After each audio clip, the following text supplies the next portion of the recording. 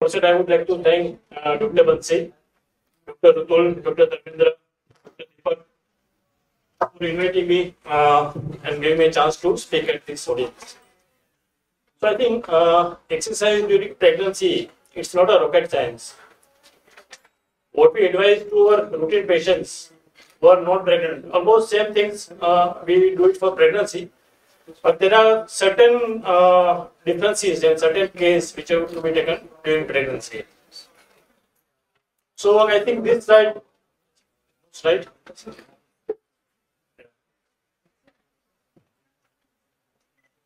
So I think whenever we go for the uh, major meets, it is very difficult for us uh, to get the main course of uh, uh, food, maybe lunch or dinner. So in times we directly go for the uh, uh, desserts. So this slide is like a desert uh, for my presentation. So I'll just tell you the crux of the matter that somebody who is not doing any physical activity, that should start gradually. Somebody is already doing physical activity, they should keep on doing it. Uh, they must also do muscle strengthening as well as the uh, weight bearing exercises.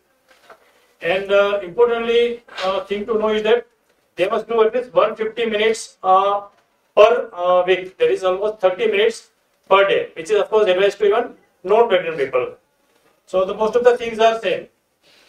Now, what are the advantages of doing exercise during pregnancy? That you will reduce constipation, bloating, improve mood, risk of developing high blood pressure is uh, reduced.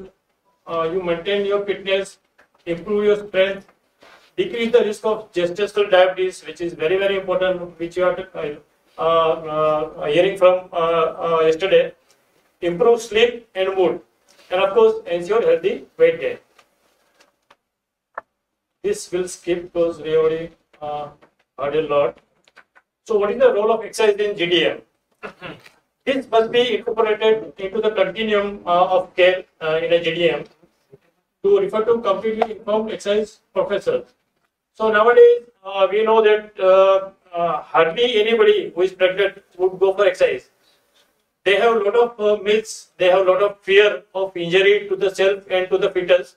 So most of the people they don't uh, want to do it or they don't know how to do it. So it is very very important that they must be informed, uh, informed and sent to people who are very well with exercise during pregnancy. We are lucky to have three people with us, uh, Mr. Karamjit Bhatia, Mr. Sarma and Mrs. Uh, Binafer, who are experts in giving uh, exercise advices to pregnant women. So anybody interested can interact with them uh, after the session. So it is recommended that women with GDM should do both uh, aerobic and resistance training exercise uh, with moderate intensity, at least three times in a week and for 30 to 60 minutes uh, uh, per, per session. In regards to evidence, uh, it is shown to be an effective tool in glucose control, which may prevent, reduce, or delay the need of insulin uh, during pregnancy. Diet glucose control is very much important to uh, because there is a risk of poor health outcomes both to the mother and the child. So to prevent these uh, uh, bad effects uh, in the mother and the child, exercise is very very important during GDM. So now, what is the role of exercise in GDM? There are no GDM specific exercise uh, prescription guidelines, but most of the guidelines they are studied in a non-diabetic patients during pregnancy. The fit uh, phenomenon is to be followed. That is frequency, intensity, time duration, and the type of exercise. So this fit principle is to be followed during pregnancy. Somebody who is previously sedentary, they must consult their medical practitioners and also assess the suitability uh, to do the exercise.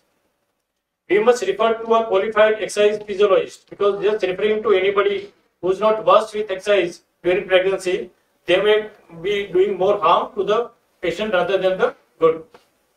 And it is recommended that advice from the medical practitioner is carefully interpreted by the exercise physiologist. So this is very important. Just by referring to a physiologist or a physiotherapist uh, is not enough, but then there must be uh, they must work in tandem. The doctor and the physio, uh, physical therapist. Sorry.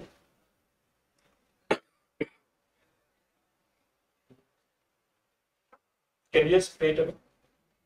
So they must work in tandem, the doctor and the uh, physical therapist.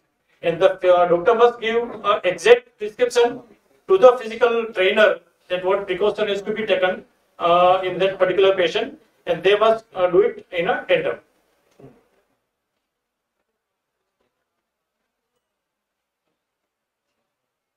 Okay. So there are certain guidelines. Uh, one is ACOG guidelines, one is uh, ACSM guidelines. That is American College of uh, Obstetrics and Gynecology and American College of Sports Medicine. So they both uh, uh, recommend 140 beats per minute. That is ACOG and 10 to 14 Borg scale. Now Borg scale, I think you must be knowing that Borg scale, initial Borg scale was from 16 to 20, and now the modified Borg scale is from 1 to 10.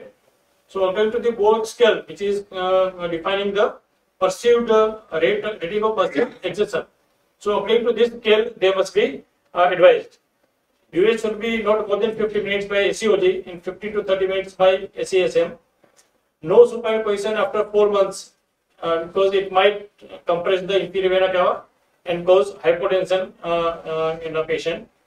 And uh, avoid exercise that employ the Valsalva maneuvers of course, because it is going to again have effect on the blood vessels. And body temperature must not vary very much because just by one degree change of temperature would have a very bad effect on the fetus. So you must take care that body temperature does not fluctuate very high in a, a patient.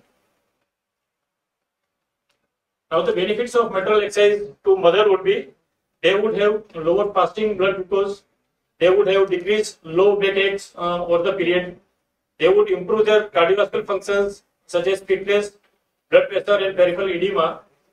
Preeclampsia chances would uh, reduce. And pregnancy is a period which is associated with physiological and psychological changes. So the mood and psychological well-being also would be improved in a uh, GDM. Now the benefits to the fetus would be in form of lower heart rate response to acute maternal exercise, increase in the amniotic fluid, increase in the placental viability, increase in vascular functions, uh, faster placental growth and greater villus tissue, and higher tolerance to labor. So these are the advantages to the fetus. And any exercise that would increase your risk of falling with direct abdominal trauma should be of course avoided in the pregnancy. So to avoid uh, trauma to the uh, patient as well as the fetus. Now what exercise should you avoid for your pregnancy workout? So there are certain uh, absolute and relative contraindications uh, uh, for the exercise.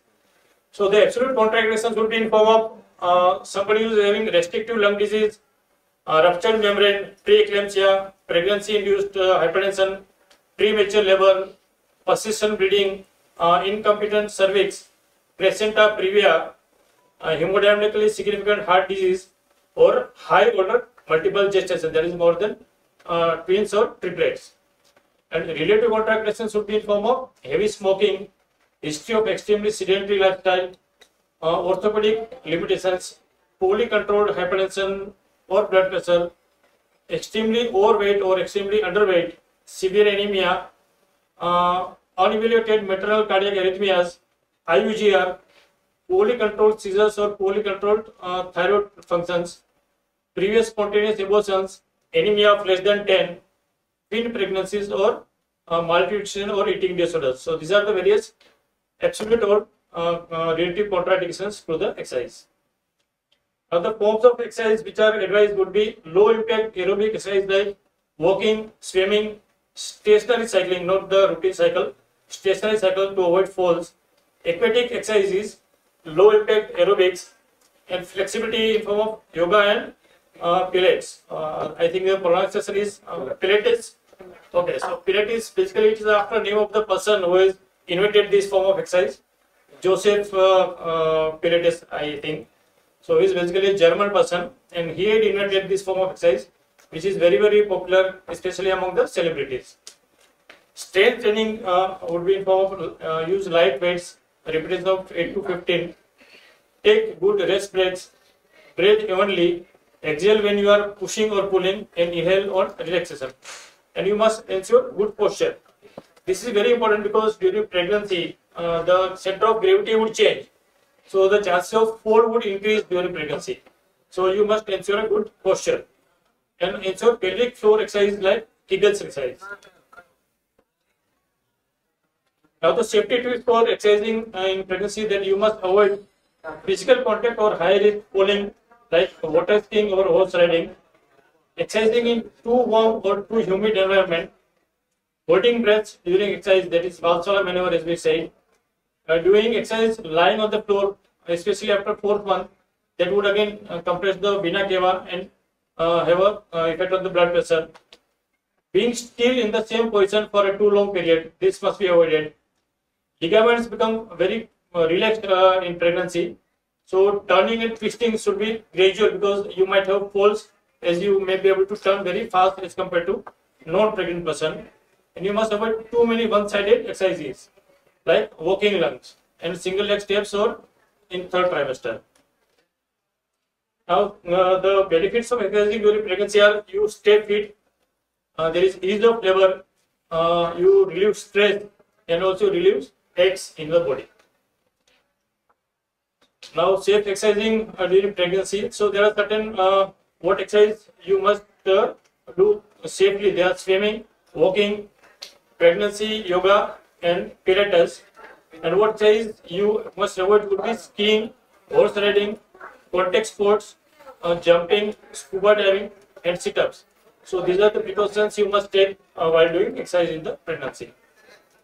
There are various certain do's and don'ts. So what is the advice is you talk to your doctor, determine the uh, safe level of activity for you, switch to low impact activities, eat proper and uh, nutrients uh, during workout and stay hydrated.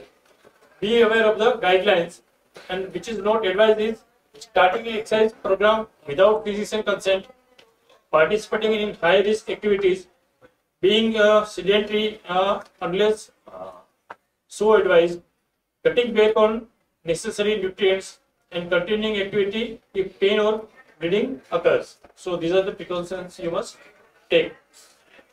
Now there are vast benefits of from exercising during pregnancy. Some precautions need to be observed to encourage safety of both the mother and the child. So you must avoid uh, various activities like, as I said before, basketball, rugby, horseback riding, gymnastics. And there are certain, uh, uh, say, uh, conditions where you must stop or terminate the exercise. So whenever you have vaginal bleeding, dizziness, headache, chest pain, muscle weakness, preterm labor, decreased fetal movements, amniotic fluid leakage, calf pain, or swelling or dyspnea without any exertion. So these are the things where you must terminate doing the exercise. So these are the various yoga poses. I think uh, these people can guide us better. Which yogas should be done and which should not be done. So there are various yoga poses like child pose, cat cow pose, extended tabletop, and butterfly uh, yoga positions which can be done. So the recommended exercise programs for pregnant women with gestational diabetes mellitus, according to this fit, protocol, fit protocol. So the frequencies would you start, you must start with three to four times per week, and targets to be more than five times per week. Uh, moderate exercise that is 40 to 60 percent of heart rate response. Start 15 to 30 minutes per session. Target should be 40 to 60 minutes per session. And for reducing postprandial glycemia, work 20 to 30 minutes after the meals. And the type of exercise as we discussed would be aerobic in muscle strengthening, resistance exercise, combination is always preferred, stretching, relaxation, and breathing techniques. So these are the various uh, charts which are available uh, online or on net. So what are the types of exercise that you must do during various weeks, starting from 1, 2, 3, 4, 5 weeks. These are again the 4 weeks pregnancy workout plans uh, which can be followed uh, according to the advice of the doctor and the physiotherapist for your uh, uh, guide. Okay, so thank you so much. This was about the role of exercise during GDM in pregnancy. Thank you.